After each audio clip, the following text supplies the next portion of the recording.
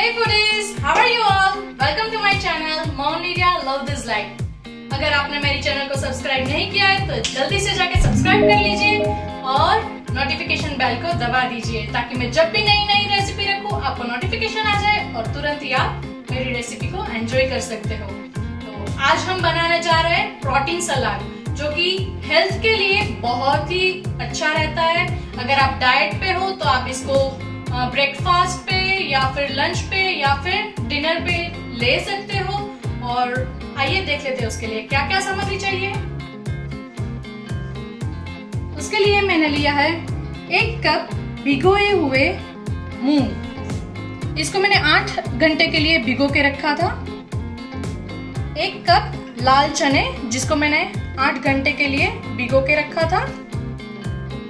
एक बड़ा टमाटर जिसको मैंने अच्छे से काट लिया है। 100 ग्राम्स पनीर, जिसको मैंने अच्छे से क्यूबिकल शेप में काट के रखा है। आधा कैप्सिकम अच्छे से काट के, एक बड़ी अनियन अच्छे से काट के, दो टीस्पून लेमन जूस, एक छोटी चम्मच मरी पाउडर, यानी कि पेपर, ब्लैक पेपर पाउडर एक छोटी चम्मच नमक, एक छोटी चम्मच काला नमक। तो ये जो रेसिपी है, ये कुक विदाउट फायर रेसिपी है। तो आप इसके लिए आपको गैस के पास जाना नहीं पड़ेगा और आप अच्छे से बना ले सकते हो। तो आइए बना लेते हैं। एक बॉल ले लेंगे।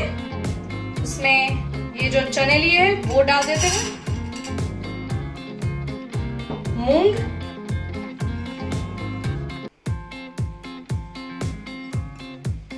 इसके अंदर टोमेटोज।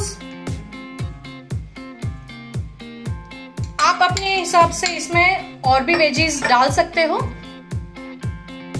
आप अगर तीखा खाते हो तो आप ग्रीन चिली भी डाल सकते हो इसमें। आप इसमें बेबी कॉर्न भी डाल सकते हो। ये सारे इंग्रेडिएंट्स को हम मिक्स कर देंगे एक बॉल में।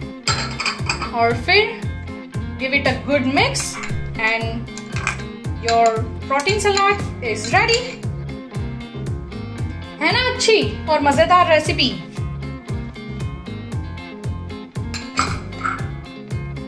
काला नमक, स्वाद के अनुसार सॉल्ट स्वाद के अनुसार ब्लैक पेपर स्वाद के अनुसार। आप इसमें चाट मसाला भी डाल सकते हो। तो अभी हम इसको अच्छे से मिक्स कर देते हैं। ये मैंने तीन लोगों के लिए बनाया है। आप क्वांटिटी जो है, वो कम या ज़्यादा कर सकते हो।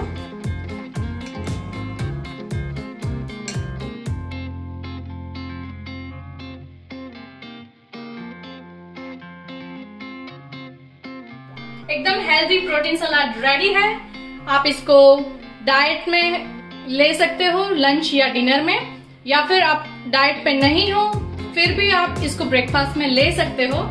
और अगर आप ऐसी ही अच्छी और हेल्दी रेसिपीज़ की जानकारी रखना चाहते हो तो प्लीज़ मेरी चैनल को सब्सक्राइब कर दीजिए और बेल आइकन को दबा दीजिए, ताकि मैं जब भी नई रेसिपी रखूँ तो आपको नोटिफिकेशन आ जाए। तो टिल देन मिलते हैं। Bye bye